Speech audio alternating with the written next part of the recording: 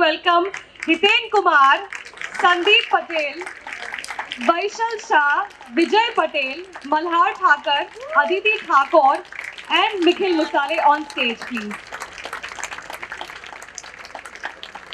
આ કોઈને કોઈનું પણ ઇન્ટ્રોડક્શન આપવાની જરૂર નથી પણ તો પણ છતાંય હું આપીશ please welcome them on stage big round of applause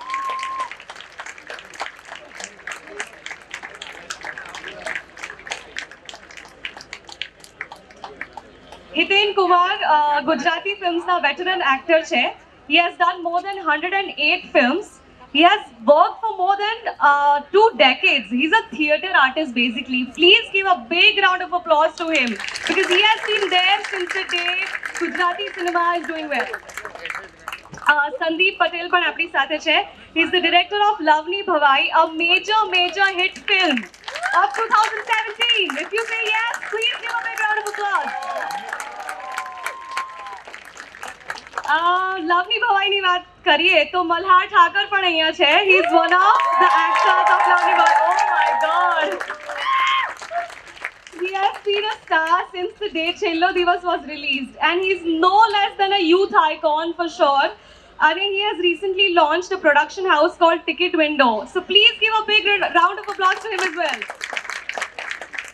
આપણી સાથે વૈશલ શાહ પણ છે he is a famous producer he is a producer of Chhello Divas Karsandas pay and use and Vandha Vilas which is going to be released soon તો એમના માટે પણ આપણે તાળીઓ પાડીએ પ્રોડ્યુસર ના હોય તો પિક્ચર ના બને so please give a big round of applause to him as well આપણી સાથે વિજય પટેલ પણ છે he is a writer and director of the Gujarati film Canvas Uh, Aditi Thakur પણ છે she is a writer director lyricist music composer lead singer and a producer of the film Bhavar please give a big round of applause for them as well and last but not the least Nikhil Musale uh, he is the young director of Wrong Side Raju and a national award winner આપણા માટે તેઓ national award લઈને આવ્યા છે તો big અને wrong side Raju ખાલી અમદાવાદ કે ગુજરાતના સીમિત નથી તે સેવન્ટીન ફિલ્મ ફેસ્ટિવલ્સમાં વર્લ્ડ ટ્રાવેલ કરીને આવી છે so we should be really proud of him and the film અને હવે આ સેશનના સંચાલક જે ખૂબ જ સિનિયર જર્નલિસ્ટ છે અને કોલમિસ્ટ છે mister Shishir Ramavat I invite him on stage to carry on the session please thank you so much મિત્રો, જે રીતે માહોલ જામ્યો છે, એ લાગે છે કે જેલેફની ગાડી એકદમ ટોપ ગિયરમાં આવી ગઈ છે. અને જે રીતે લોકોના ચહેરા પર ઉત્સુકતા છે જે ચાર્જઅપ દેખાય છે માહોલ ઇઝ ગુડ સાઇન તો ફર્સ્ટ ઓફ ઓલ મારે એક તમને સરસ ન્યૂઝ આપવા છે. કે આજે લવની ભવાઈના નું આઠમું વીક શરૂ થયું છે. પચાસ દિવસ પૂરા થયા છે ફિલ્મના. મુંબઈ અને ગુજરાતમાં રોજના સો શો થાય છે. સો શો રોજના. અને આ એક રેકોર્ડ છે. છેલ્લા પંદર વર્ષનો રેકોર્ડ આ ફિલ્મ બ્રેક કર્યો છે. Big round of for every Bhavai team specially Malhar અને સંદીપભાઈ અભિનંદન તમને બંનેને. હવે લોની ભવાની વાત નીકળી છે તો આપણે હીરો આપણી વચ્ચે સ્નેહે હાજર છે.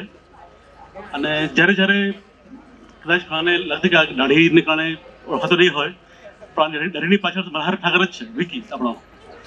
રાઈટ અને ઇઝ બેસિકલી ફ્રોમ થિયેટર અને જ્યારે જ્યારે હું મુંબઈમાં લોકોને મળતો હોઉં છું થિયેટરના લોકો સાથે, તો એક વાત કોમન જોવા મળે કે મલ્હાર બહુ સરસ છોકરો. સરસ એટલે is very committed very enthusiastic professional એ અર્થમાં તો મલ્હાર આવો જ આવા રહેજો એટલે અમને તમે અવાજ રાઈટ સો હવે તમે ફિલ્મ પ્રોડ્યુસર પણ છો તો લેટ્સ બિગિન વિથ યુ ઓડિયન્સને શું જોઈએ? તમને શું લાગે છે? તમારી પાસે અનુભવ છે? તમારી પાસે ત્રણથી વધારે ચાર ફિલ્મોનો ઇઝ અ હીરો અનુભવ છે? તો વોટ ડુ યુ થિંક પહેલા તો thank you very much literature છે એટલે ખાસ જબ્બો પહેરીને આવ્યો છું. કે આમ એક્ઝેક્ટ કહું કે લિટરેચર એટલે જબ્બો. એમ, એટલે મેં જબ્બો ભર્યો છે. અને આજે મારી ફિલ્મ મિજાજ રિલીઝ થઈ છે. Thank you thank you very much હું ઓડિયન્સને શું જોઈએ છે એમાં એટલું જ કહીશ કે ઓડિયન્સને મજા આવવી જોઈએ. બાકી બધી જ વાર્તા બાજુમાં છે. એટલે ઓડિયન્સને ખાસ એન્ટરટેનમેન્ટ જોઈએ છે. અને એન્ટરટેનમેન્ટની જો વાત કરું તો એન્ટરટેનમેન્ટ એ કન્ટેન્ટમાં રહેલું છે. એટલે હું મારી ફિલ્મની વાત કરું, ચાલેલી અને ન ચાલેલી ફિલ્મો બંનેની. તો હું બહુ જેન્યુનલી એવું કહીશ કે જેમાં કન્ટેન્ટ છે જેમાં લોકોને મજા આવે છે લોકો કનેક્ટ કરી શકે છે સો એ સો ટકા. બિંગ અ પર્સન ગુજરાતી તરીકે ગુજરાતી ફિલ્મ જોતા એવું લાગે કે આ કદાચ મારી વાર્તા છે અથવા મારી આસપાસ આવું ભજવાઈ રહ્યું છે. એવી વાર્તાઓ ખાસ ચાલે છે અને મારો અનુભવ એવો રહ્યો છે કે કનેક્ટ જે થઈ જાય છે ને ઓડિયન્સ તો એમાં જ ફિલ્મનું એન્ટરટેનમેન્ટની વેલ્યુ છે. અને એન્ટરટેનમેન્ટના કારણે ફિલ્મને જે મળતું હોય છે બિઝનેસ અમને મળે છે ફેમ તો આ બધી વસ્તુઓ એ બંને પાસાઓ છે. એટલે આમ એકાદી વસ્તુ પણ ઓછી પડે તો એ ફિલ્મને અસર પડે છે ને કલાકારને પણ અસર પડે છે એવું મને ખાસ લાગે છે. એટલે ઓડિયન્સને મજા આવવી જોઈએ, એન્ટરટેનમેન્ટની વેલ્યુ જળવાવી જોઈએ એવું ખાસ આમાં રહેલું છે. એટલે જ્યારે ઓડિયન્સને એન્ટરટેનમેન્ટ મળશે, એ લોકો કનેક્ટ થશે અને મજા આવશે તો એ ફિલ્મ ચાલશે. આવો મારો અનુભવ રહ્યો છે. રાઈટ એકદમ સાચી વાત કરી તમે. અત્યારે સવાલ એ છે કે ઓડિયન્સને શું જોઈએ છે? લવની ભવાય કે ભવની ભવાય લવની ભવાય આપણે બધાએ જોઈ. ભવની ભવાઈ પણ આપણે ઘણ- લોકોએ જોઈ હશે. એ આ ઓગણીસો એંસીમાં એક ફિલ્મ આવેલી, કેતન મહેતાની ફિલ્મ. નેશનલ એવોર્ડ એ ફિલ્મને મળેલો. ને એમાં સ્મિતા પાટીલ, સુધીર શાહ ઓમપુરી જેવા દિગ્ગજ કલાકારો હતા. એ થર્ટી એઇટ યર્સ પહેલાં. ને આપણે ત્યાંથી વી હેવ રીચ અપ લવની ભવાય તો હવે જો સવાલ એવો હોય કે લોકોને આ જોઈએ છે કે આ જોઈએ છે, તો પર્સનલી મારું માનવું છે કે મારે બંને જોઈએ છે. મને આર્ટ ફિલ્મ પ્રકારની જે કળા જેને કહેવાય એવી ફિલ્મ પણ જોઈએ છે અને મને મલ્હારની ફિલ્મ પણ જોઈએ છે. તો આ વિશે I think Sandeepbhai right person to share perspective is perspective એક તો ઓડિયન્સને શું જોઈએ છે? એ સવાલનો જવાબ મેળવવામાં મને અઢાર વર્ષ નીકળી ગયા છે. ઓગણીસો નવ્વાણુંમાં પહેલી ફિલ્મ બનાવી, ત્યારે એવી રીતે એવી ફિલ્મ બનાવી કે વર્ષા રાજ એ બી પાછા દેશરે જોયાનો હીરો લઈને બનાવી હતી, કિચન કુમારને લઈને. અને આ દેશરે જોયા જ્યારે આવી રિલીઝ થઈ તો બહુ જ ચાલી. એટલે મને એમ થયું કે હું પાછો બહુ ઇન્સિક્યોર ફિલ્મ મેકર છું એટલે મારી ફિલ્મમાં કામ કરતા એક્ટર્સ એ લોકો તો એમને ઓળખવા જોઈએ એવું મારું સ્પષ્ટ માનવું છે ફિલ્મ મેકર તરીકે, મારા માટે એટલે કારણ કે હું બહુ ગભરાઉં. કે લોકો ઓળખશે જ નહીં કે આ ભાઈ કોણ છે, તો શું થશે એમ. એટલે મારી કલા માટે તો વિશ્વાસ ને એ બધું પાછળનું આવે છે. એટલે એ વખતે જ્યારે બનાવી ને ત્યારે વર્ષા અડાલજાની નવલકથા પરથી ફિલ્મ બનાવી મેં. હવે બનાવી ત્યારે તો બહુ ટણીમાં બનાવી હતી અને મેઘાણીનું એક ગીત હતું રાજેન્દ્ર શુક્લનું એક ગીત હતું, એક તુષાર શુક્લે લખેલું હતું, માધવ રાવાનું જે લખેલું હતું, આવા બધા સંગીત, આવા બધા ગીતો સહિતનું આખું એ ફિલ્મ મેં કરી હતી. પણ પછી કોઈ ઓડિયન્સ જોવા જ ના આવ્યું. હા, હવે હવે જે ઓડિયન્સ માટે બનાવ્યું હતું ને એ ઓડિયન્સે એ મને કે તમારી ફિલ્મનો વખાણ બહુ સાંભળે છો. અને હું પછી થિયેટરોમાં ફરતો થયો પહેલી વાર, કારણ કે ફર્સ્ટ ટાઈમ ફિલ્મ મેકર છો ને, બહુ પેશનેટ રીતે ફિલ્મ બનાવે. એટલે છે ને, એમને એમને પોતાનો સ્વ, સ્વપ્રેમ, પોતાના માટેનો પ્રેમ એટલો બધો હોય ફિલ્મ મેકરને વિશ્વાસ, કે બિચારા એમને ઓડિયન્સ તરફથી જોવાનું તો અવકાશ જ નથી બધો એટલે પછી ઓડિયન્સ એ થિયેટરમાં ગયો ત્યારે મને ખબર પડી કે આ એક સાયકલની લારીમાં ચાર જણા એક ફેમિલીમાં પિક્ચર જોવા આવે છે. એના માટે મેં આ મારે પણ એક ઘર હોય નામની નવલકથા પરથી ફિલ્મ બનાવી યાર. તો ત્યારે મને હું રિગ્રેટ નથી કરતો, પણ મને એવું થયું કે હું આ લોકોને આ લોકોને નહીં સમજાયા અને આ લોકોને સમજાય એવી ફિલ્મ તો હું દેશરે જોયા હતી. તો દેશરે જોયા વખતના જમાનામાં જ્યારે આ પ્રશ્ન આવ્યો, ત્યારે એ ફિલ્મ પછી મારું આ મનોમંથન છ વર્ષ ચાલ્યું. પછી મેં ગગો બનાવી બે હજાર છમાં. તો એમ થયું કે ઓડિયન્સને હવે ગમે તે એવી ફિલ્મ બનાવું. તો એ વખતે પણ એવું થયું કે એ વખત જમાનો બદલાઈ ગયેલો એટલે એ વિમેન ઓરિએન્ટેડ ફિલ્મ ચાલતી હતી. ત્યારે મેં મેન ઓરિએન્ટેડ ફિલ્મ બનાવી. એટલે હિરોઈન ઓરિએન્ટેડ ફિલ્મ ચાલતી હતી. અને પછી તો મને એમ થયું કે યાર, હવે તો હું ટેલિવિઝન કરવું એ સારું છે. એટલે પછી મોટી બાર નિયારી કરતા પણ બાર વર્ષના ફ્રસ્ટ્રેશનના અથવા તો મારી જાત સાથેના વાતમાં એટલો હું વિશ્વાસ સાથે કહી શકું કે ફિલ્મ તો છે ને, મોતીના ચોકડી બનાવી ત્યારે પણ હું ખોટો નહોતો, ગગો બનાવી ત્યારે પણ હું ખોટો નહોતો, અને લવની ભવાઈ બનાવી ત્યારે પણ હું ખોટો નથી. જે વાર્તા કેવી છે ને, એ વાર્તા વિશ્વાસથી કેવી ઓનેસ્ટીથી કેવી, તો ઓડિયન્સ સુધી પહોંચશે, તો પહોંચશે. બાકી film is a huge kind of a risky કલા, કે જે મોંઘી કલા છે, એ તો છે જ. તમે લવની ભવાઈ જ કેમ બનાવી? બાર વર્ષના બ્રેક પછી લોની ભવાઈ શા માટે? એક તો છે ને એનું એનું પાપ તો એક તો મારા લેખક મિતાઈ શુક્લને જાય છે, જે રેડિયો મિર્ચીનો કન્ટેન્ટ રાઇટર છે. પણ મને છે ને કેતનભાઈની ફિલ્મ બહુની ભવાઈ, મારા માટે બહુ, હું બહુ નાનો હતો એ વખતે. અને મેં એડવાન્સમાં એક જ શો ચાલતો હતો અને એ ભવની ભવાઈ તમને નહીં માનો, એ પચીસ વીક સુધી એડવાન્સ થિયેટરમાં એક શો એ ચલાવી છે. ટ્વેન્ટી ફાઇવ વીક્સ અને મને એટલી બધી અસર કરી હતી એ ફિલ્મ અને એ, એને ટ્રીબ્યુટ આપવાની તો બહુ જ અંદરથી પેલી હતી. એક, અને આ વાર્તા એવી હતી કે જેમાં બહુની જગ્યાએ લવ મૂકીએ તો બેસી જાય એવું હતું ને કન્ટેન્ટ રાઇટરે કીધું કે આ એકચ્યુઅલી લવની હોય છે વાર્તા. તો પછી અનાયાસે આવી છે પણ ચેતનભાઈને કેતન સરને ટ્રિબ્યુટ તો ખરી જ, બિલકુલ. સંદીપભાઈ એટલા સિનિયર આપણા કલાકાર હિતેનભાઈ છે કે જે નવી અને જૂની સિનેમા વચ્ચેના એક મજબૂત બ્રિજ સમાન છે. એ પણ બહુ જ કમિટેડ બહુ જ વિચારશીલ કન્સર્નવાળા આર્ટિસ્ટ છે. ભાઈ તમને હું સવાલ કરું છું. કોડેસે શું જોઈએ? તમને શું લાગે છે? છવ્વીસ વર્ષ થયા મને પોતાને સમજતા. અને હજુ નથી સમજાતું કારણ કે આ ઇન્ડસ્ટ્રીની અઢી દાયકામાંની સૌથી વધારે સફળતા કે નિષ્ફળતાનો સૌથી વધારે સાક્ષી બન્યો હોય તો હું બન્યો છું. ઓડિયન્સને શું જોઈએ છે? છવ્વીસમા વર્ષે મને એ લાગી રહ્યું છે કે સાહિત્યની આપણે વાત કરીએ, આપણને આ ચર્ચા કરવી ખૂબ ગમે, પણ સામાન્ય જણને એમાંથી મનોરંજન જોઈએ છે. એક રસોઈ બનાવો તો એમાં હિંગ બહુ જરૂરી છે, પણ હિંગનું શાક ના ખવાય. આ વસ્તુ એકસો ને આઠ ફિલ્મ પછી દર વખતે. બહુ સરળ છે, કારણ કે આ એકમાત્ર મીડિયમ એવું છે કે જેની અંદર દરેકે દરેક કળાનો સંગમ છે ને એની પાછળ સૌથી વધારે જોખમ જે ઉચકે છે એ નિર્માતા વિશે આવા મંચની ઉપર બહુ ઓછું બોલાય છે. એક નાટક કરીએ મલાર આપણે. ન ચાલે તો બે શો પછી બંધ કરીએ તો બહુ વધારે આર્થિક ભારણ નથી આવતું. પણ એક ફિલ્મ જ્યારે નિષ્ફળ થાય ત્યારે મારા ગયા વખતના સેશનમાં પણ હું બોલ્યો, મારી પીડા હંમેશા હંમેશા રહી છે. કે સંદીપ પટેલ માટે એટલા માટે કહું કે મારી બીજી કે ત્રીજી ફિલ્મ જ્યારે અમે લોકોએ સાથે કરી ત્યારે બહુ મોટા સપનાઓની સાથે હું પણ મુંબઈના થિયેટરથી અને સાહિત્યથી આવેલો હતો. એની પણ આગ હતી. આપણે યાર સાહિત્ય વિશેની કારણ કે આવા જ પરિસંવાદોમાં અમે લોકો ઉછરા છીએ. પણ એ ફિલ્મની મધ્યમ સફળતા, નિષ્ફળ નહીં કહું, એ પ્રયત્ન પણ ત્યારે વખણાયો હતો. પણ સામાન્ય જણ સુધી તમારા જે કેવું છે એના ગળે ઉતારી શકો, એ કોમ્બિનેશન શોધવામાં એમને આજે આટલા વર્ષો લાગ્યા છે. દેટ મીન્સ ભવની ભવાઈ માટે પુષ્કળ માન છે મને.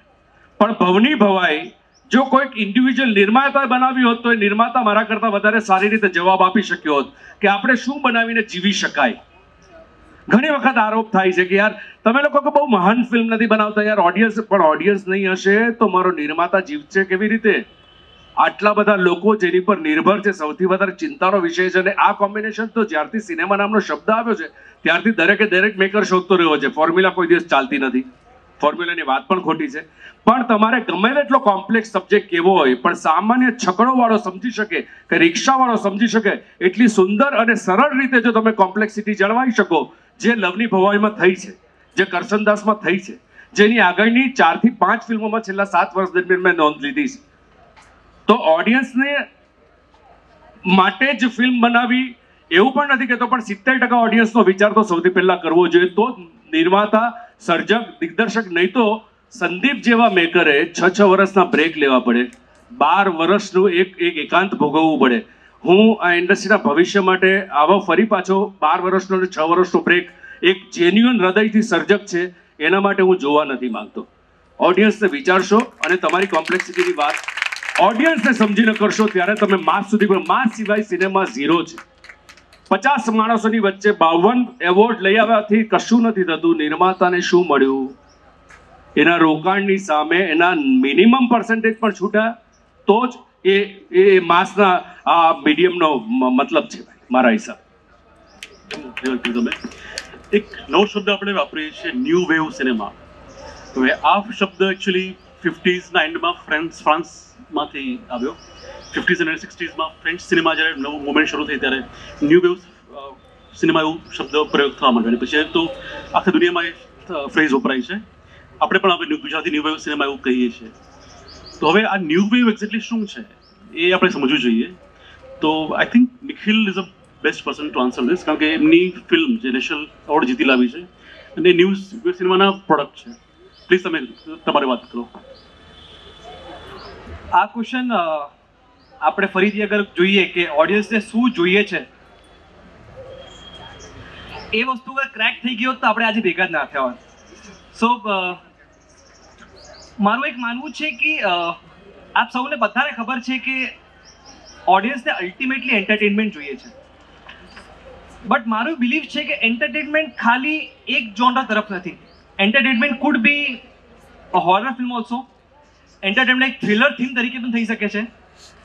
એન્ટરટેનમેન્ટ એક સોશિયલ ડ્રામા પણ થઈ શકે છે. સો મારી એવી ઈચ્છા છે કે બધી પ્રકારની ફિલ્મો બને, બધા જોનરની ફિલ્મો બને અને લોકો એનાથી પણ એન્ટરટેન થાય. મારા ફિલ્મની વાત કરું તો એક નાનો કિસ્સો કહીશ. જેમ હોસ્ટે અહીંયા કીધું કે ફિલ્મ સત્તર ફિલ્મ ફેસ્ટિવલ્સમાં ગઈ હતી. અમારી ફિલ્મ જર્મનીમાં પણ સ્ક્રીન થઈ હતી. સ્ક્રીનિંગ પત્યા બાદ એક જર્મન વ્યક્તિ મારા પાસે આવ્યો અને મને કીધું કે બહુ જ સરસ ફિલ્મ છે પણ મારે એક ડાઉટ છે ફિલ્મ મેં કહું બોલો ને, શું ડાઉટ છે કે તમારી ફિલ્મનો કેરેક્ટર છે કે એ બધાના ઘરમાં જઈ જઈને દારૂ આપે છે. એ એવું કેમ છે કે?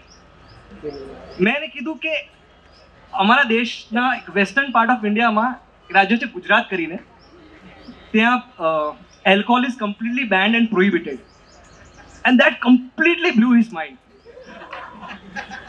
so એ ઇન્સાઇટ એના માટે કે એવા એક, એવો એક સ્ટેટ છે કે જ્યાં એલ્કોહોલ કમ્પ્લીટ બેન્ડ છે.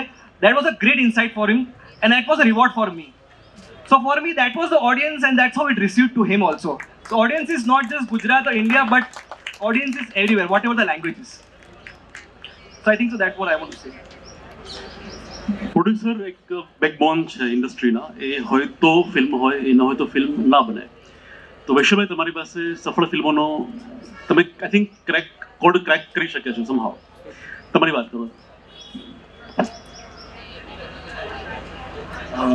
સૌથી પહેલાં હું બધાની વાતમાં સહેમત છું કે આપણે ફિલ્મ માટે કે સિનેમા માટે વાત કરીએ, તો આપણે એન્ટરટેનમેન્ટ જોઈએ છે. મલ્હારે પણ કીધું, મિખિલે પણ કેટેગરાઇઝ કર્યું કે એન્ટરટેનમેન્ટ આપણને ડિફરન્ટ જોનરામાં પણ આપણને મળી શકે છે. હવે બહુ વધારે લાંબુ નહીં ખેંચું પણ મારો કારણ કે એક્સપિરિયન્સ પણ બહુ નાનો છે ત્રણ વર્ષનો એક્સપિરિયન્સ છે ઇન્ડસ્ટ્રીમાં અત્યારે ઓવરઓલ દરેક જોનરાને જોતા મને અગર કંઈક રિયલાઇઝ થતું હોય તો that is the fantasy world કે હું સૌથી બેસ્ટ એક્ઝામ્પલ લઉં તો બાહુબલીનું કે અત્યાર સુધીની સૌથી highest gross box office film છે દેટ ઇઝ બાહુબલી. એ ફેન્ટાસી વર્લ્ડ છે. એના પદ્માવતી હવે આવી રહી છે કે બાજીરાવ મસ્તાની છે એની પહેલાં ના વર્ષમાં રામલીલા, આ બધા ફેન્ટાસી વર્લ્ડ પર બનેલી ફિલ્મ છે. એટલે જેને રિયલ લાઈફ સાથે કોઈ કનેક્ટ નથી, પણ public and like audience is completely enjoying what ever is there on the screen અને સ્પેશિયલી જ્યાં સુધી વાત કરું કે મોટા મોટા સેટ્સ હોય કે એ પ્રકારનું જો અગર આપણે પ્રદર્શન કરી શકીએ, તો પબ્લિકને ખાસ વધારે પડતું ફેન્ટસી વર્લ્ડમાં ઇન્ટરેસ્ટ છે. અને સેકન્ડ ઝોન્ડા જો અગર હું તમને લોકો કહી શકું તો એ રિયલ સિનેમા છે. કે જે મિખિલે બનાવવાનો પ્રયાસ કર્યો હતો રોંગ સાઇડ રાજુને લઈને, કે દંગલ બની છે which is again the second highest gross film after the Baahubali એટલે એક રિયલ સિનેમા છે, જેના પર અમુક પણ પ્રયાસ કર્યો કરસનદાસ પેઇન્ટ યુઝને લઈને, કે સમાજમાં શું ચાલે છે અને કયા કાસ્ટમાં એટલે કઈ રીતની વાત ચાલી રહી છે. તો એક રિયલ લાઈફ ઉપર પણ અત્યારે થોડો ઘણો પ્રયાસ ચાલુ છે અને હંમેશા માટે કે જે પણ થોડીક લાઇટ હાર્ટેડ કોમેડી ફિલ્મ હોય, તો એ ચાલે જ છે. જેમ કે છેલ્લો દિવસ છે કે લવની ભવાઈ છે. આ બંને ફિલ્મે પણ પ્રૂવ કર્યું છે કે ભાઈ ઓડિયન્સને કન્ટેન્ટ જો અગર લાઇટ હાર્ટેડ ફિલ્મ હોય, તો એ ચાલશે જ ચાલશે. સો એઝ ફાર એઝ મને ચાર, ત્રણ વસ્તુ ખાસ રહી છે કે એક ફેન્ટાસી વર્લ્ડ જે હમણાં ગુજરાતીમાં બનાવવું એ બહુ ડિફિકલ્ટ છે કારણ કે એના માટે બહુ બિગ બજેટ ફિલ્મ જોઈએ અને એની સામે આપણે અત્યારે એટલું રેવન્યુ પોસિબલ નથી. Second is the real cinema કે તમે કોઈના પર તમે કોઈ સ્ટોરી બનાવો અને the third is the light hearted comedy film as far as the જો હું કેટેગરાઇઝ કરું તો ત્રણ કેટેગરી મારું એનાલિસિસ છે કે આ ત્રણ કેટેગરી હોય તો ઓડિયન્સને વધારે મજા આવશે. ઓકે હવે એક વસ્તુ એવી છે કે કલાકારને પોતાની અભિવ્યક્તિ જોઈતી હોય, મને જે ગમે એ હું બનાવું, મારી કન્વિક્શન પ્રમાણે હું બનાવું. બીજું એ છે કે લોકોને જે ચાલે છે એ બનાવો. તો આ બંનેની વચ્ચે આઈ થિંક કદાચ ક્યાંક સંતુલન બિંદુ હોવું જોઈએ. દીદીબેન જે છે એ કન્વિક્શનમાં માનવાવાળા છે. બહુ જ પેશનેટ આર્ટિસ્ટ છે અને એ બહુ જ મલ્ટી ટેલેન્ટેડ વ્યક્તિ છે. એમની ભવર ફિલ્મ જે બહુ જ લોકો લોકોએ જે જણ જોઈ શક્યા છે, એમને બહુ જ ગમી છે. તો આઈ થિંક હું એમનો પર્સપેક્ટિવ જાણવા માંગીશ કે એમનો શું અનુભવ છે? સૌથી પહેલાં તો હું એવું માનું છું અને સંદીપભાઈ જોડે પણ અગ્રી કરું છું કે film basically it's a story it has to touch human emotions કારણ કે તમે લોકોને દેખાડો છો કે જે સાંભળે છે, એ લોકો સાથે લઈને નથી જતા. What they remember is how you made them feel so તમે જ્યારે લોકો આગળ કંઈક દર્શાવો છો, ત્યારે તમે એમને શું અનુભૂતિ, શું અનુભવ કરાવડાવ્યો છે? એ ખૂબ જ મહત્ત્વનું છે. અને હું એવું માનું છું કે language doesn't matter film is either good film or a bad film but language doesn't matter પછી ગુજરાતી ફિલ્મ હોય એ હિન્દી ફિલ્મ હોય કે એ ઇટાલિયન ફિલ્મ હોય. અને બીજું એક સ્લોગન અમે કાયમ પ્રમોશન્સ માટે જતા હતા તો હું કાયમ કહી રહી હતી કહી રહી હતી બધાને કે, ના અર્બન સિનેમા અને રૂરલ સિનેમા આપને પુલકિત કરવા આવી રહ્યું છે ગુજરાતી સિનેમા સો હું એવું માનું છું કે તમે ફિલ્મ ઇઝ બેઝિકલી તમે તમારા જે એક્સપિરિયન્સ છે because I am writer director એટલે તમારા જે અનુભવો છે, તમારા કંઈ પણ અનુભવોની બહારનું તમે લખી લખતા નથી. ક્યાં તો તમે રિસર્ચ કરો પણ everything you write about is your experience your education your background your mentality it's basically you as a writer અને જો તમે એવું કંઈ પણ બનાવવા જાઓ છો વિચ ઇઝ નોટ યુ તો you cannot communicate it correctly to the audience તો હું કાયમ એવી ફિલ્મ બનાવવા માગું છું કે જેમાં હું બિલીવ કરું છું. અને જો હું બિલીવ કરીશ, તો એ વસ્તુ ઓડિયન્સ બિલીવ કરી શકશે. અને એ મને એન્ટરટેન કરી શકશે. જેમ મિખિલે કીધું એમ કે માત્ર કોમેડી કે માત્ર હોરર કે માત્ર drama there are so many different genres કે જેના થ્રુ તમને એન્ટરટેનમેન્ટ મળે છે. So if I am getting entertain and if I am able to communicate it properly તો ડેફિનેટલી એ ઓડિયન્સીસને એન્ટરટેનમેન્ટ પ્રોવાઈડ કરશે જ.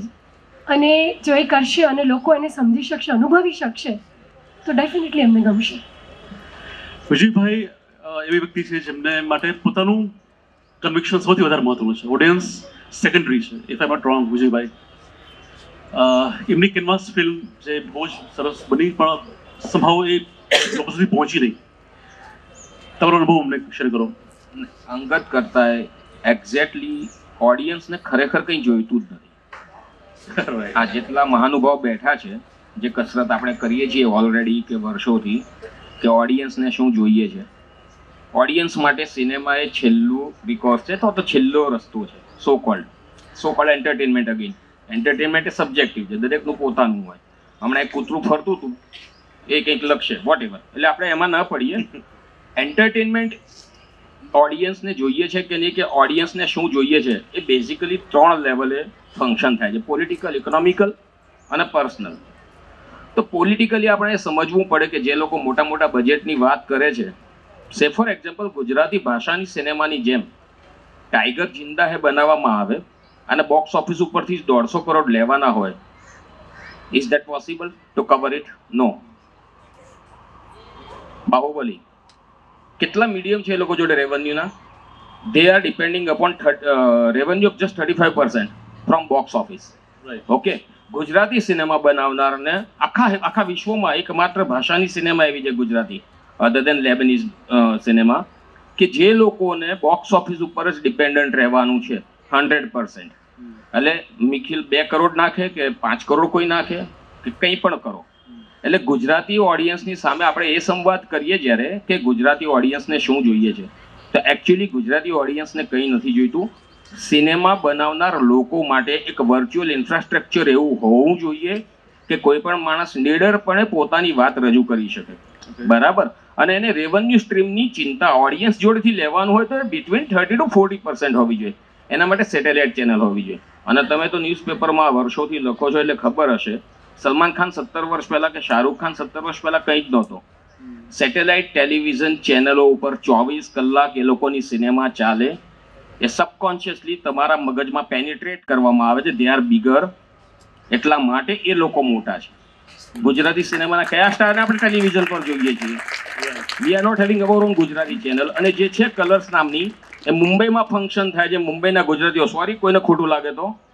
એ લોકો એવું માને છે they are better artist fine it's not like that actually the point is very simple ઓડિયન્સને કંઈ જ નથી જોઈતું. આખી વ્યવસ્થા લોચાવાળી છે. આ વ્યવસ્થાનો પ્રોબ્લેમ છે. ઓડિયન્સને કંઈ જ નથી જોતું. ઓડિયન્સ તો હિન્દી મીડિયમ પણ જોવા જાય છે. અને તમે બોલતા ના હો કે છેલ્લા પચીસ વર્ષમાં સૌથી મોટી હિટ ફિલ્મ પચાસ લાખના ખર્ચામાં બની હતી ભેજા ફ્રાય બાહુબલી કરતાં પણ મોટી હિટ ફિલ્મ પચાસ લાખની ફિલ્મ પાંત્રીસ કરોડનું રિટર્ન લાવી હતી. બાહુબલી ચારસો કરોડની ફિલ્મ બે હજાર કરોડનું લાવે છે ડિફરન્સ ઇઝ બિગ સો આલે કયું હિટ કયું ફ્લોપ કયું સક્સેસ કયું ફેલિયર એ અગત્યનું નથી. આર્ટિસ્ટને કંઈક કેવું છે એટલા માટે આ મીડિયમમાં એ આવ્યો. બરાબર? તો એને એ મીડિયમની અંદર એક વ્યવસ્થા એવી હોવી જોઈએ ગુજરાતમાં વર્ષો ઉપરાંતથી થઈ નથી. બરાબર? અને એને લીધે આપણે આ સંવાદ કરીએ છીએ. દરેક સેમિનારની અંદર આવા સંવાદો થાય છે. ઓડિયન્સને જેન્યુઅનલી ખરેખર કંઈ જ જોઈતું નથી. હિતેનભાઈ સોરી આ વાત પર હું વિજયભાઈ પર વાત કરું. અ, વૈશલભાઈ એ જ એ જ એટલે હું ક્યારનો આંગળી ઊંચી કરીને સાહેબ મારે કંઈ બોલવું છે હાજી કરીને હાજી સર લેટર પાર્ટ વિજય કે પટેલનો બહુ સાચો ઇન્ફ્રાસ્ટ્રક્ચરની વાત. પણ એમના પ્રથમ ભાગ વિશે મારો અનુભવ જે કહે છે કે ઓડિયન્સને કંઈ જોઈતું નથી એ વાત સંપૂર્ણપણે હું નકારું છું. કારણ કે હિન્દુસ્તાની સંસ્કૃતિમાં તમે જુઓ, કાલિદાસના નાટ્યથી લઈને હમણાં સુધી હંમેશા એન્ટરટેનમેન્ટ જે નાટ્ય થકી કે સિનેમા થકી એ તમારા જીવનમાં પણ રિફ્લેક્ટ કરે છે. આજે તમે ને હું જુઓ તો સેવન્ટી પર્સન્ટ જનરેશનનો રોમાન્સ પણ ક્યાંક ને ક્યાંક એમના મનમાં એમણે જોયેલી સિનેમાના કોઈ ટ્યુનની સાથે સંકળાયેલો છે. કે દીકરી જ્યારે પરણતી હોય તે વખતે આપણી પ્રેક્ટિકલ લાઈફની અંદર આપણી આંખમાં આંસુ નથી આવતા, પણ આપણને કોઈક ધૂન એવી યાદ આવે છે જે સિનેમાના પડદે છે તમે નોર્મલ લાઈફમાં નથી કરી શકતા, એ ક્યાંક બેકગ્રાઉન્ડમાં વાગતી ત્યારે તમારી અંદરનો દરિયો બહાર છલકાઈ જાય. આ એક એવું મીડિયમ છે કે જેને આવનારા દસ વર્ષ પછી પણ આપણે સમજી નહીં શકીશું પણ ઓડિયન્સ એટલા માટે મહત્વનું છે કારણ કે ઓડિયન્સ જો તમારે જે કેવું છે એ નહીં સમજી શકે, તો તમે સર્વાઈવ કેવી રીતે થશો? અને એકમાત્ર માધ્યમ, એકમાત્ર મીડિયમ છે જેની સાથે કોમર્સ બહુ મોટા પાયે સંકળાયેલું છે. બે લાખ, પાંચ લાખમાં સિનેમા બનવાની વાત, એક ભેજા ફ્રાયના દાખલાની સામે હું તમને દોઢસો બીજી ભેજા ફ્રાય પ્રકારની ફિલ્મોના નામ ગણાવી શકું જે સદંતર નિષ્ફળ ગઈ છે. એ જ મેકર્સની પણ નિષ્ફળ ગઈ છે. એ ક્યારેક ફ્લુક હોઈ શકે, એમને બધાને સલામ. પણ ઇન્ફ્રાસ્ટ્રક્ચરનો તો હંડ્રેડ પર્સન્ટ અભાવ છે. સેટેલાઇટની ઘટનાઓનો હંડ્રેડ પર્સન્ટ પણ વિષય આજનો એ નથી કે કેવી રીતે આપણે નિર્માતાઓએ સર્વાઈવ કરવો છો. વિષય એ છે કે ઓડિયન્સને શું જોઈએ છે? ઓડિયન્સને એ સિનેમા જોતી વખતે પોતાનું રિફ્લેક્શન જોઈએ છે. જે પોતાની જિંદગીમાં એ નથી કરી શકતો, એની નાયક કે એની નાયિકા, એ કરતા જોઈને એમને અંતરમાં ક્યાંક સંતોષ થાય ને એ સંતોષ તો તમારે એને આપવો જ પડે. પછી કોઈ પણ જોનરેમાં હોય. જરૂર નથી કોમેડી થ્રિલર પણ હોઈ શકે, કરુણ પણ હોઈ શકે, કારણ કે એન્ટરટેનમેન્ટ માત્ર હાસ્યની સાથે નથી સંકળાયેલું. પણ તમારી સાથે ભીતર ક્યાંક ને ક્યાંક હિન્દુસ્તાનની જનતાની સાથે તો હું હંડ્રેડ પર્સન્ટ કહું કે સિનેમા તમને દેખાય છે એના કરતાં વધારે પણ વધારે વધારે પર્સન્ટેજમાં તમારી સાથે, તમારી જિંદગી સાથે સંકળાયેલું છે. Hundred percent audience is very important for any maker મેં ઓડિયન્સને રિજેક્ટ નથી કર્યું. મેં એમ કહ્યું છે ઓડિયન્સને શું જોઈએ છે? એ પ્રશ્ન અસ્થાને છે. કારણ કે ઓડિયન્સને જે જોઈએ છે સબ્જેક્ટિવલી દરેક જણ પોતપોતાનું એન્ટરટેનમેન્ટ શોધી લે છે. દાખલા તરીકે વૈશલભાઈએ હમણાં એક બહુ સરસ વાત કરી કે ગુજરાતી સિનેમા એવી ફેન્ટસી ન કરી શકે because we have to spend more right luxuriously rather હવે એ એટલા માટે કારણ કે બોક્સ ઓફિસ તો દસ કરોડ રૂપિયા આપી દેશે. વૈશલ શાહને કે હિતેન કુમારને કે મલા ઠાકરને. પણ જે બીજી રેવન્યુ સ્ટ્રીમ છે ટાઈગર જિંદાહીની સેટેલાઇટ રાઇટ્સના એકસો ત્રીસ કરોડ રૂપિયા મળતા હોય સાહેબ, તો દોઢસો કરોડ ખર્ચાય. સંદીપ પટેલ લવની ભવાઈના કે તમારી ફિલ્મના કે કોઈ પણની ફિલ્મના રેવન્યુની અંદર કોઈ પણ અલગ અલગ સ્ટ્રીમમાંથી રૂપિયા મળતો બેઝિકલી પ્રોબ્લેમ શું છે? કે આ પેનિટેટિવ ફોર્સ છે કે કોઈ પણ જગ્યાએ આપણને સિનેમાના ગીતો યાદ આવે છે. હું એ તો કહેવા માંગુ છું કલેક્ટિવ કોન્શિયસનેસની અંદર પેનિટ્રેટ કરવામાં આવે છે. પણ વિજયભાઈ હું આપણી વાતમાં એ કહીશ કે હિતેન સર હમણાં જસ્ટ કીધું કે આજનો જે ટોપિક છે એ ઓડિયન્સને શું જોઈએ છે? એના પર છે. ઇન્ડસ્ટ્રીમાં આપણને શું તકલીફ છે કે આપણી પાસે સેટેલાઇટ નથી બીજા કોઈ પણ પ્રોબ્લેમ નથી. એ ટોપિક નથી. અને અમને એ જ વાત કરી હેલો. પણ અને મેં પણ એ વાત સ્ટાર્ટિંગમાં પણ કરી કે. બાહુબલી જેવી ફિલ્મ ફેન્ટાસી વર્લ્ડ સો ટકા ચાલે ને છે. બધા સાચા છો પણ તમે બધા હાથ ઊંચા શું કરે કે ઓડિયન્સને શું જોઈએ છે ખબર નથી અઢાર વર્ષથી છવ્વીસ વર્ષથી. તો હું એમ કહું છું કે ના, ઓડિયન્સને છોડી દો ને. આ મનોમંથન દરમિયાન કીધું. મનોમંથન દરમિયાન જ કોઈક વ્યાખ્યા ઓડિયન્સને છોડી દો they will choose they will choose what to see. હું તમને દાખલો આપું. હું તમને દાખલો આપું. Sir sir sorry sorry sorry sir તમે મારાથી બહુ સિનિયર છો, મારાથી તમને ઇન્ટરપ્ટ ના કરાય. પણ આજે તમે ઓડિયન્સને પૂછશો કે આપણે ટ્રેક રેકોર્ડ જોઈશું કે ઓડિયન્સને શું જોઈએ છે. ભૂલી જાઓ કે આપણે ગુજરાતી છે, કે આપણે ગુજરાતી લેંગ્વેજની વાત કરીએ છીએ. આપણે અહીંયા ઓડિયન્સને શું જોઈએ છે? ગુજરાતી ઓડિયન્સને શું જોઈએ એ સવાલ નથી. સવાલ એ છે કે ઓડિયન્સને શું જોઈએ છે? ઓડિયન્સને જે જોઈએ છે, એ આપણે બોક્સ ઓફિસ રેકોર્ડ જોઈએ, તો એ પદ્માવતી આવશે, સો ટકા આવશે. બજરંગી ભાઈજાન આવશે બાહુબલી આવશે બાહુબલી પાર્ટ વન પણ આવશે બાહુબલી પાર્ટ ટુ પણ આવશે.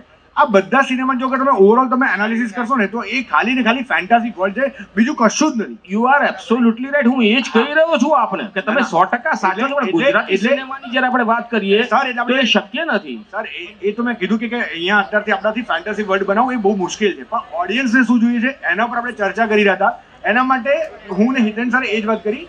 કે ઓડિયન્સની ફેન્ટાસી વર્લ્ડ હોય entertainment is a part of the cinema anyways તો એન્ટરટેનમેન્ટ તો બટ ઓબ્વિયસલી બધાનું એક કોમન તારણ નીકળ્યું જ છે. પણ ફેન્ટાસી વર્લ્ડ પર તમે જે કીધું કે- ચાહે બાહુબલી હોય કે બેજા ફ્રાય હોય, ના ના ના, અત્યારે આપણે એનાલિસિસ કરવાની જરૂર પડે છે. ટ્રેન્ડ દરેક વખતે ચેન્જ થઈ રહ્યો છે. એ ટ્રેન્ડ અત્યારે શું ચાલે છે? આપણે સો ટકા સમજવું પડે, આપણે સ્ટડી કરવું પડે અને એ પ્રમાણે આપણે ફોલો કરવાનો ટ્રાય કરવો જોઈએ. That is what I feel sir બે મિનિટ મને મળે, શિશિરભાઈ. હું વિજય ખૂબ ખૂબ ખૂબ એટલે અદ્ભુત મિત્રો છીએ, પણ અમે અમુક મુદ્દા પર હંમેશા લડતા ઝઘડતા જ ને આ જ અમારી જિંદગી બને છે ઓડિયન્સને શું જોઈએ છે એ જ મુદ્દા પર તમને આવું તો. છેલ્લા સાત વર્ષ દરમિયાન મેં જોયેલા દરેકે દરેક નવા મેકર્સને હું દિલથી સલામ કરું છું. એમણે પુષ્કળ અદ્ભુત સુંદર પ્રયત્ન કર્યા છે, પણ મારા અનુભવ, કોઈ કે બે ફિલ્મો બનાવી છે, કોઈ ચાર ફિલ્મો બનાવી છે, એકસો આઠ અકસ્માતોનો સાક્ષી રહ્યો છું એટલે એ અનુભવની સાથે તમને કહું. કે આ ઇન્ડસ્ટ્રીની સૌથી મોટી ગ્રોસર પણ આ માણસ હતો એમાં. સૌથી મોટી નિષ્ફળતા પણ મેં ભોગવી છે. અને સૌથી વધારે ભ્રમણ ગુજરાતના ખૂણે ખૂણામાં જો કોઈ કર્યું હોય, એક કલાકાર તરીકે, એક મેકર તરીકે, અને ઓડિયન્સની સાથેનું ઇન્ટરેક્શન કર્યું હોય તો છેલ્લા ચાર વર્ષની મારું એનાલિસિસ જે કહે છે કે આટલા સુંદર શક્તિ ધરાવતા ન્યૂ મેકર્સ હજુ પણ આપણી સિનેમાને શહેરમાંથી કાઢીને આપણા સ્મોલ ટાઉન સુધી જો લઈ જઈ શકે ને, તો ત્યાં બેઠેલો પેલો ઓડિયન્સ છે ને, જે એ જમાનામાં મારી મૈયર કે દેશરે જો આજથી વીસ વર્ષ પહેલા સાત રૂપિયામાં પણ ચોવીસ કરોડનો બિઝનેસ આપી શકે. આપણે લિમિટાઇઝ કરી છે. આપણે બિઝનેસ પોઈન્ટ ઓફ વ્યૂથી કહું, મેં અઠવાડિયામાં પાંચ દિવસ પણ જ્યારે મેં સૌરાષ્ટ્રમાં કાઢ્યા છે કે ઇન્ટિરિયર પાર્ટમાં કાઢ્યા છે, આજે પણ એ લોકો તરસે છે. એ લોકોની સાથે રિલેટ થતી આજે એટલે પહેલા ચોયણા પાઘડાવાળાની વાત નથી કરતો. પણ સ્મોલ ટાઉનનો હીરો જેવી રીતે સાગર આજે કનેક્ટ કરે છે. એક એક એક મિડલ ક્લાસ મધ્યમ વર્ગનો એક જેવી રીતે થઈ જશે નો નાયક જે રીતે કનેક્ટ કરે છે. એ જ રીતે જો તમે સ્મોલ ટાઉનના નાયક, નાયિકા કે એમના પ્રત્યે એમના રિફ્લેક્શન સાથેની ફિલ્મ બનાવશો તો હજુ પણ તમને કહું કે જે ચિંતા આજે આપણને સેટેલાઇટની છે, એ સેટેલાઇટની ચિંતા આપણે નહીં કરવી પડે કારણ કે એસી ટકા ઓડિયન્સ હજુ તરસ્યું છે. નંબર ટુ ઓડિયન્સને શું જોઈએ છે? એમનું ખોવાઈ ગયેલું થિયેટર જોઈએ છે. જેના માટે તમારે ને મારે બધાએ મળીને પ્રયત્ન કરવા પડશે. છેલ્લો દાખલો આપું. પાંચ મહિના પહેલા યુપી સરકારે જેના માટે હું બે વર્ષથી બોલતો હતો, કારણ કે મેં તો ગુજરાતનો એક એક નાનામાં નાનો ભાગ મેં જોયો છે દરેક દરેક વ્યક્તિઓની સાથે મારા વિડીયોઝ પણ નેટ પર છે કે હું એટલા બધા વ્યક્તિઓ સાથે ઇન્ટરેક્ટ કરું છું. એ લોકો સૌથી વધારે મિસ કરી રહ્યા છે. આજે એમને ગમતું થિયેટર એમને પરવડી શકે એવું થિયેટર જે આપણે ત્યાં ઇન્ફ્રાસ્ટ્રક્ચરના કારણે આપણી સજાગતા ન હોવાના કારણે મીડિયાની સજાગતા ન હોવાના કારણે થઈ નથી શક્યું. સાડા ત્રણસો બંધ થયેલા સિંગલ થિયેટર સરકારી સહાયની સાથે એમને પરવડી શકે એ રેટની અંદર ત્યાં જીવંત કરવામાં આવે છે. જે જ કન્સેપ્ટ ત્યાં જનતા થિયેટરનો છે સદન ઇન્ડિયામાં જ્યાં આપણે ક્યારેક તો વિચાર્યું કારણ કે એમને જોઈ છે સિનેમા ફોર્ચ્યુનેટલી સોરી પહોંચી નથી શકતી. આ ઓરિજિનલ આઈડિયા જનતા થિયેટરનું ગુજરાત. જનતા થિયેટર આપણા ગુજરાતથી શરૂ થયું હતું. ગુજરાત એટી વનની અંદર પહેલી વાર ગુજરાત સરકારે મૂક્યો તો આજનો હું તમને કહું કે આટલા મોંઘા બજેટની ફિલ્મો છ સેન્ટર છ છ મેટ્રોસની ઉપરથી રિકવર કરવી એ નિર્માતા માટે મુશ્કેલ એટલા માટે પડી રહ્યું છે. પેલું ઓડિયન્સ હજુ તરસ્યું છે. જેમને પરવડી શકે એમના થિયેટર આપણે જીવવા જ નથી દીધા. એના માટે ખરેખર વિચાર કરવા જેવો છે. ઓડિયન્સની જરૂર સૌથી વધારે એ છે. એમને આજનો પ્રયોગ પણ જોવો છે. પણ એમને દોઢસો રૂપિયા ખર્ચીને ત્યાં જઈને પંચ્યાસી રૂપિયાનું પોપકોર્ન લેવું નથી પરંતુ સાયકોલોજીકલી ખિસ્સામાં પૈસા હશે પણ ત્યાં એ ચીટ ફીલ કરી રહ્યો છે. વોટ આઈ બિલીવ અચ્છા મલ્હાર તમે હવે પ્રોડ્યુસર બન્યા છો. અને તમારી સામે એવી કમેન્ટમેન્ટ્સ છે એઝ પ્રોડ્યુસર કે હું આ ક્રેશ કે હું નહીં જ કરું. એઝ અ પ્રોડ્યુસર ઓડિયન્સને એટલે મેં એવા પ્લાન કર્યા છે કે મને છે ને ગેંગ્સ ઓફ વાસેપુર પણ ગમે છે ને દેશી બોયઝ પણ ગમે છે. રાઈટ પણ બંનેના બિઝનેસ જોવા જાવ તો દેશી બોયઝ વધારે ચાલે છે. એટલે હું એવો ટ્રાય કરીશ કે હું સારી ફિલ્મો આપું અને એમાં સો સો ટકા અંદર ઉતરીને દરેક વસ્તુ નિરીક્ષણ કરીને આગળ વધીશ. અને પ્રોડ્યુસર તરીકે તો ખરું જ પણ આ જ્યારે આખી એક અલગ જવાબદારી છે. એક્ટર તરીકે મેં એવું હું આમ કહી શકું કે મેં એકતાલીસ ફિલ્મો રિજેક્ટ કરીને નવ જ ફિલ્મો શૂટ કરી. એ નવ ફિલ્મોમાં મને એવું લાગેલું કે ઓડિયન્સ સો સો ટકા મજા આવશે. ભલે થોડા ઘણા લોચા પડ્યા અમુક ફિલ્મો ચાલી અમુક ફિલ્મો ન ચાલી પણ મેં એવું નક્કી કરેલું કે મને જે ગમે છે ને કદાચ ઓડિયન્સ હું પંચાણું ટકા ઓડિયન્સ જ છું પાંચ ટકા ક્રિટિક છું. એટલે મને મજા આવે સ્ક્રિપ્ટ વાંચવામાં અને જો એમાં જલસો પડે તો ઓડિયન્સને પડશે એવા એવા પ્રયત્ન સાથે જ હું ફિલ્મ બનાવીશ. અને અત્યારે પણ જે પ્રકારે મારો ગ્રોથ થયો છે ગુજરાતી ફિલ્મોમાં એ પ્રકારે લોકોને એ જ કે એન્ટરટેનમેન્ટ આપવાની જવાબદારી મેં સો ટકા સ્વીકારી છે. બીજું કે ઓડિયન્સને સારું પૂરું પાડવું એ જવાબદારી મેં લીધી છે. અને ક્યારે ઓડિયન્સ એ કલાકાર તરીકે નારાજ ન થાય, એટલે મતલબ ઓડિયન્સ મને જોઈને નારાજ ન થાય કે આ કેમ આવું કરે છે બોગસ, એવું નહીં થાય, એવા પ્રયત્નો સો ટકા મેં કર્યા છે. અને આ રીતે, એટલે એક્ટર ટુ પ્રોડ્યુસર એટલે પ્રોડ્યુસર તો એવું છે કે ટેક છે બટ યા આફ્ટર ઓલ તો અંદર એક્ટિંગ કરવાની જ છે. એટલે એ જ સ્ક્રિપ્ટ ચૂઝ કરવાથી લઈને, જે પ્રોસેસ કરી છે, મેં સ્ક્રિપ્ટ વાંચવાથી લઈને સ્ક્રિપ્ટ જોવાથી લઈને કેવી રીતે જશે આગળ, કેવી રીતે બનાવીશું. હવે એવું છે કે દરેક પાસાઓ મને ધીરે ધીરે ખબર પડવા લાગી છે. દો ડિસ્ટ્રીબ્યુશન હજી નથી ખબર પડી. ધીરે ધીરે શીખી રહ્યો છું. પણ કે ડીઓપી આવા કામ કરવા જોઈએ ડીઓપી આવી રીતે રહેવું જોઈએ, આવા અમુક પેલા ટેન્ટ્રમ અને રિક્વાયરમેન્ટના ભેદ ન સમજી શકનારા કલાકારો પણ છે, જેમને ન લેવા એવા ડિસિઝન પણ મેં લીધા છે. એટલે આ બધી જ વસ્તુઓનું મિશ્રણ કરીને ખાસ મેં નક્કી કર્યું છે કે હું ફિલ્મો બનાવીશ તો લોકોને સો ટકા મજા આવશે એમ. શું નહીં જ કરો તમે? હું શું નહીં જ કરું એમ. ઓડિયન્સને ક્યારે નારાજ નહીં કરું એ નક્કી છે. છેલ્લો દિવસ એક આપણા માટે ડિવિઝિવ ફિલ્મ બની રહી. એક વર્ગ હજી પણ એવો છે જે આ જેના ફિલ્મ નથી ગમી. એ હજુ પણ ફિલ્મોને ગાળો આપે છે. જે કહે છે કે ઓડિયન્સનો ટેસ્ટ બગાડી બગાડી નાખ્યો વગેરે વગેરે. At the same time one of the biggest hits છે. તો આ એક એક બે સ્પષ્ટ ભાગ પડી ગયા છે ફિલ્મના. પર્સનલી મને ફિલ્મમાં બહુ મજા પડી હતી. તો વૈશ્વભાઈ તમારું શું કહેવું છે? એ એ શું કે એને- એનો શું અર્થ કરવો આપણે એક વર્ક છે જે ફિલ્મ નથી જ ગમી એ ફિલ્મ. તે ડિટ લાઈક ઓડિયન્સને ફિલ્મ નથી ગમી છેલ્લો દિવસ. હવે એના માટે હું શું કહું? કદાચ બહુ ઓછો એવો એક વર્ક છે એવો એક વર્ક છે. એવો વર્ક તો એવો પણ હશે કે કદાચ એને બાહુબલી પણ ના ગમે એને સારી સારી હિટ ફિલ્મ્સ ના ગમે. હવે એમના માટે મારથી કશું ના કહેવાય યાર. એ એમની ઓપિનિયન છે એમની ચોઇસ છે. બાકી. પબ્લિકનો પ્રતિસાદ તો બહુ સારો હતો. એના પબ્લિકના પ્રેમના અને સપોર્ટના લીધે જ બોક્સ ઓફિસ સૌથી હાઈએસ્ટ ક્રોસિંગ ફિલ્મ બની શકી છે. એટલે જે લોકો નથી ગમે એના માટે હું કશું કમેન્ટ ના કરી શકું કે કે ભાઈ તને કેમ નથી ગમી? Okay it is it is fair પણ એવું કહેવાય છે કે એને કારણે પછી બીજી ફિલ્મો એની કોપી કરવામાં સર આનો જવાબ હું આપું? મારી ફિલ્મને તો બર્ડ ઓફ કહેશે કે મારા છોકરાનું ડાકણ નહીં કહી શકું. શું તમે લોકો શું કહેશો? ઓડિયન્સ શું કહેશે? છેલ્લો દિવસ ફિલ્મ કેવી હતી? ઓડિયન્સ જે કે એક સાચું કરવે. એની અંદર હું આગળ કશું ના પર્સનલી મને બહુ મજા પડી હતી સર જોવાની. ઓડિયન્સ ને પૂછી એકવાર. ભાઈ તમારે બધાનું શું કેવું છે? Thank you so much two લઈને આવો. લોકોની છે we are working on it એક છેલ્લો એક સવાલ ધ લાસ્ટ ક્વેશ્ચન્સ કે આપણી સામે માત્ર હિન્દી ફિલ્મો કે ટેલિવિઝન જ હવે સ્પર્ધા નથી મનોરંજનના પાઈ મેળવવામાં. હવે નેટફ્લિક્સ પણ આવી ગયું છે ડિજિટલ એન્ટરટેનમેન્ટ પણ છે. આપણી સામે એ હેરીફાઈ પણ છે, કે જ્યાં લોકોનું અટેન્શન ત્યાં જવાનું છે, જઈ રહ્યું છે. તો આની સામે how do we deal with that તમે સંદીપભાઈ, તમે શું કહેવા માંગો છો? ડિજિટલ એન્ટરટેનમેન્ટ હવે જે શરૂ થયું છે નિખિલ તમે પણ મૂકો. નેટફ્લિક્સ જનરેશન છે હવે. હા હા. હું એટલું કહીશ કે ફરીવાર હું પાછી પેલી વાત કરીશ કે હિન્દુસ્તાનની કમર્શિયલ કે કોઈ પણ સિનેમા કે જે પેરલ સિનેમા આ બંને સિનેમા કો એક્ઝિસ્ટન્સ માર્ક માને છે. હવે જે સમયે અમર અકબર એન્થની ચાલતી હતી એ જ સમયે આક્રોશ ને અર્ધસત્ય ચાલતી હતી. પણ અમર અકબર એન્થની જેવું ટેલિવિઝન આવી તમે જે નેટફ્લિક્સની વાત કરી, એવી રીતે એ જમાનામાં ટેલિવિઝનનું રેવોલ્યુશનરી એન્ટ્રી થઈ અને મહાભારત અને રામાયણ આપણા બેડરૂમ અને ડ્રોઈંગ રૂમ સુધી આવી ગયા. ત્યારે એક મોટો વર્ગ હિન્દુસ્તાનનો ફિલ્મોથી દૂર જતો ગયો. અને એ સમયે ટેલિવિઝનનો પ્રભાવ એટલો હતો કે બધું જ કમર્શિયલ ફિલ્મો જ બંધ થઈ. તો પછી પેરેલલ સિનેમા પણ બંધ થઈ. હવે આ સામે લડવું પડશે. અને આ સામે એ લોકોએ સામે કામ એવું આપવું પડશે કે જેથી મોટા પડદે અને ભાઈ, બાહુબલી, કેમ આવે છે ત્યારે? જે હોલિવૂડે કર્યું જ છે નેટફ્લિક્સ ને બધું, ત્યાં તો પચીસ વર્ષ પહેલાંથી છે.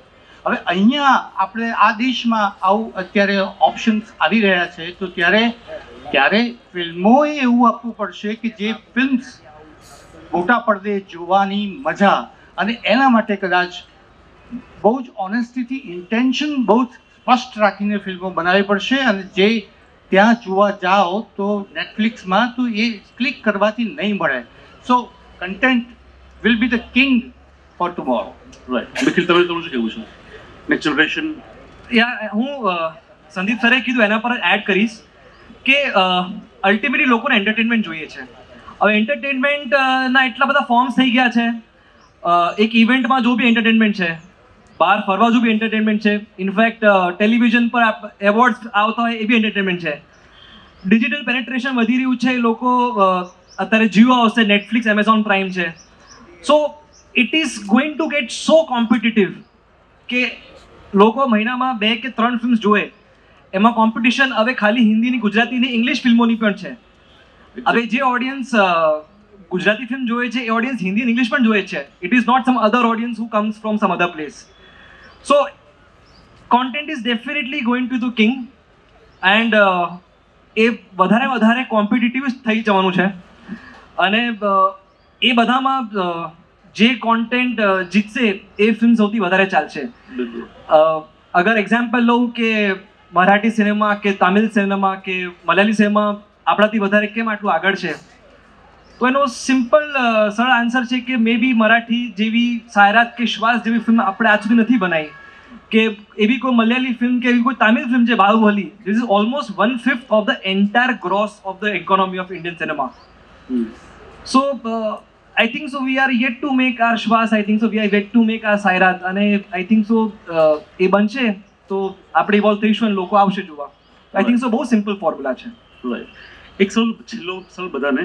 વોટ ઇઝ વે ફોરવર્ડ હવે આપણે નેક્સ્ટ શું સ્ટેપ જોઈએ છે? છેલ્લા આવતા પાંચ વર્ષમાં આપણે આપણી જાતને ક્યાં જોઈએ છે? બસ કંઈ નહીં, હવે એટલે ઘણી બધી વર્ષોમાં હવે મલ્ટીપ્લેક્સમાં આપણને ગુજરાતી ફિલ્મ જોવા મળી છે અને હવે એના નંબર્સ પણ વધી રહ્યા છે.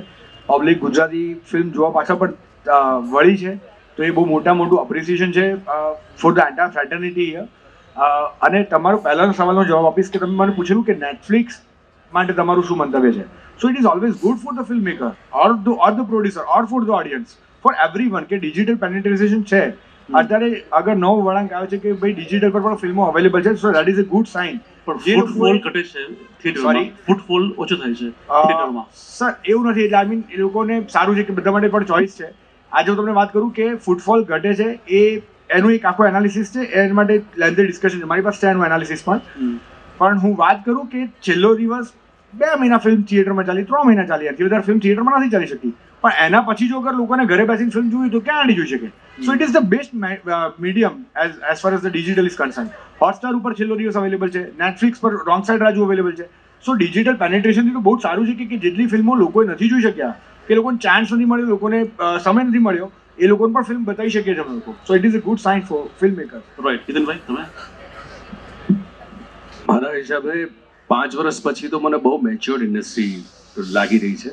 કારણ કે ઘણી બધી ભૂલો કરીશું ઘણી બધી ભૂલોમાંથી આ જનરેશન એવું છે, જ્યારે મેં શરૂ કરી આજથી બાવીસ, ચોવીસ વર્ષ પહેલાં એક પહેલો ભણેલો, ગણેલો વ્યક્તિ કદાચ મુંબઈ છોડીને અહીં આવ્યો હતો, ત્યારથી મારું સપનું હતું કે એક આવું આખું જનરેશન આપણી સાથે આવે, જોડાય. અમને લોકોને અમારી ભૂલ સુધારતા વર્ષો લાગતા હતા. આ જનરેશનને દોઢ, બે વર્ષમાં એમની ભૂલો સુધારવાનો એમની પાસે ઇન્ટેલિજન્સ છે, કારણ કે આ તો જમાનો બદલાયો છે. મારા હિસાબે પાંચ વર્ષ પછીની ચિંતા એટલા માટે કરવાની જરૂર નથી ને ઇન્ટરનેટ માટેની કોમ્પિટિશનની ઘટના એટલા માટે કરવાની જરૂર નથી. કારણ કે આમની જ ફિલ્મ સૌથી મોટો દાખલો છે પાયરસી થયા પછી પણ થિયેટરમાં સૌથી મોટો બિઝનેસ ગ્રોસ કરી લે. કારણ કે સિનેમાની અનુભૂતિ જુદી છે. નેટફ્લિક્સની ઉપર તમને બે ચાર મહિના તમને એક્સાઇટમેન્ટ લાગશે, પણ મોટા પડદાની ઘટના તમે ઘરની બહાર નીકળીને એ જે મનોરંજન મેળવવાની ઘટના છે, તમારે કોઈ ચિંતા કરવાની જરૂર નથી. ભલે વિશ્વના જેટલા રિસર્ચર કહેતા હોય છે રિસર્ચર હંમેશા મોટાભાગે ખોટા પડતા હોય છે. તમે કન્વિક્શનથી સિનેમા બનાવો, હૃદયથી સિનેમા બનાવો અને લોકો સમજી શકે એવી સિનેમા બનાવો, તો ડેફિનેટલી આપણે વધારે પડતી ચિંતા કરવાની જરૂર નથી. હજુ તો વર્ષો બાકી છે એના. પાંચ વર્ષ પછી આઈ પ્રોમિસ યુ સર કે એક આ માણસે નેશનલ માટેની મારી એક રટણ હતી.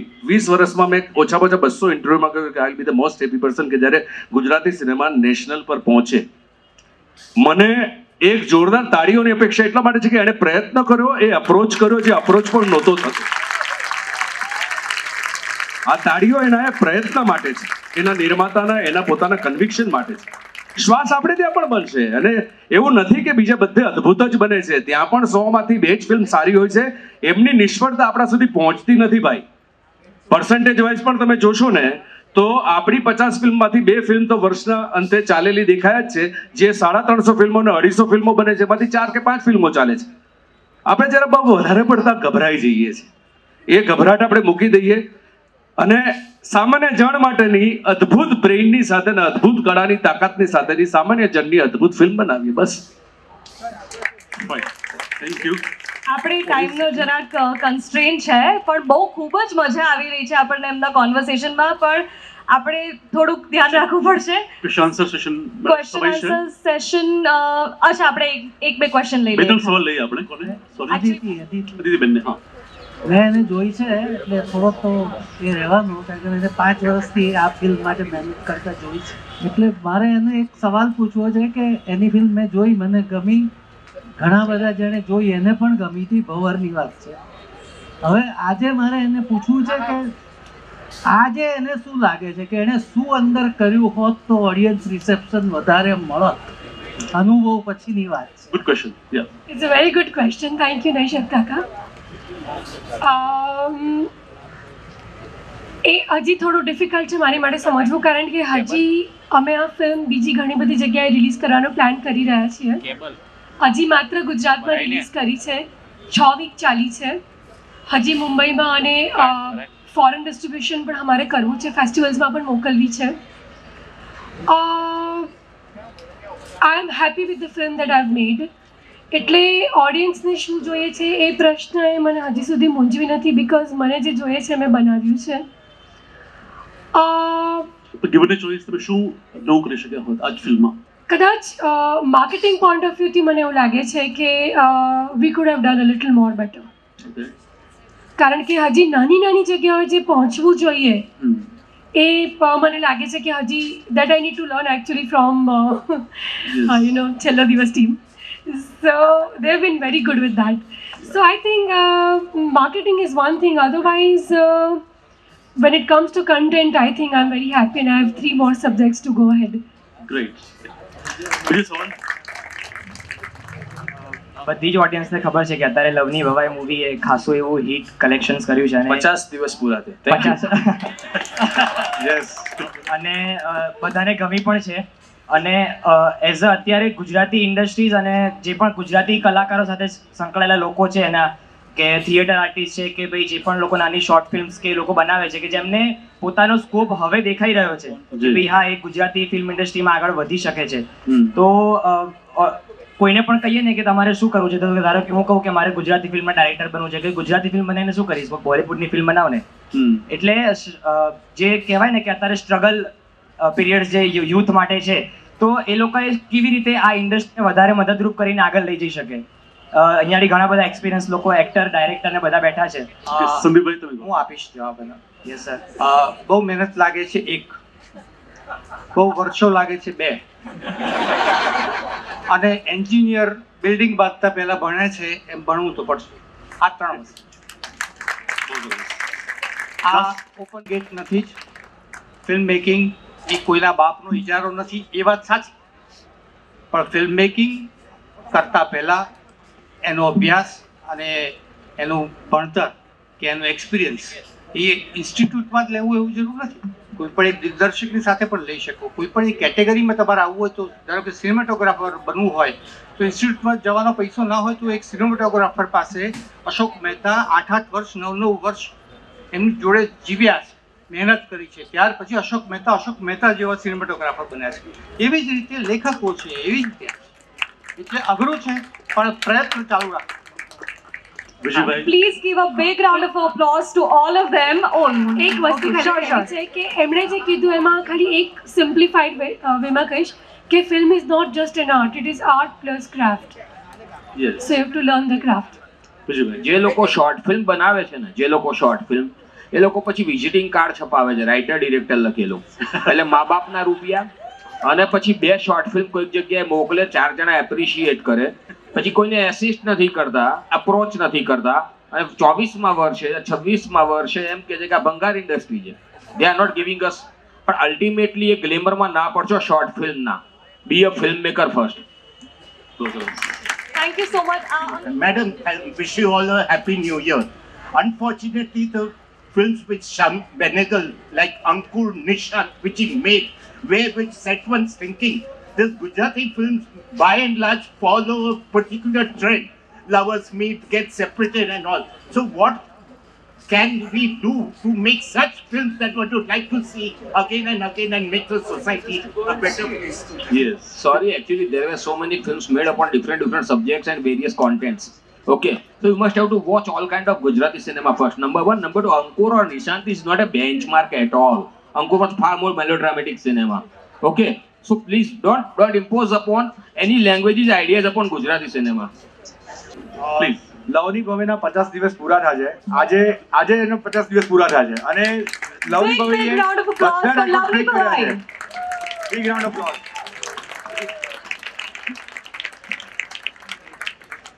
applause. Cake cutting Arohi stage ઓડિયન્સમાં છે અચ્છા okay Arohi, Dhirenbhai please come team L L B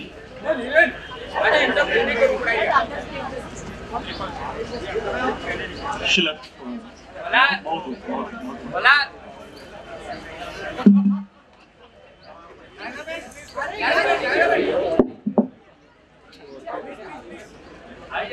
put your hands together for Lovely Bhavai.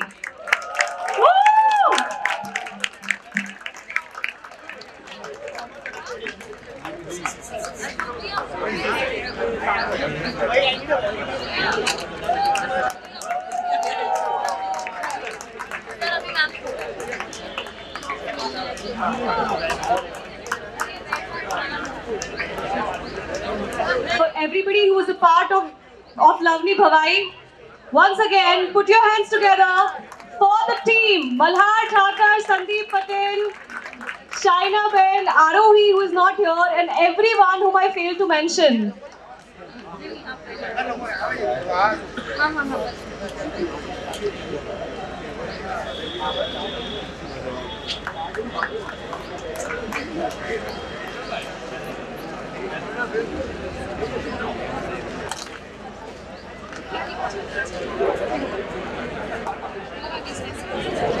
So much, Hiten Kumar, Sandeep Patel, Vaishal Shah, Malhar Thakur, Vijay Patel, Aditi Thakur, Nikhil Musale, and Shishi Ramawat. Once again, here's the panel.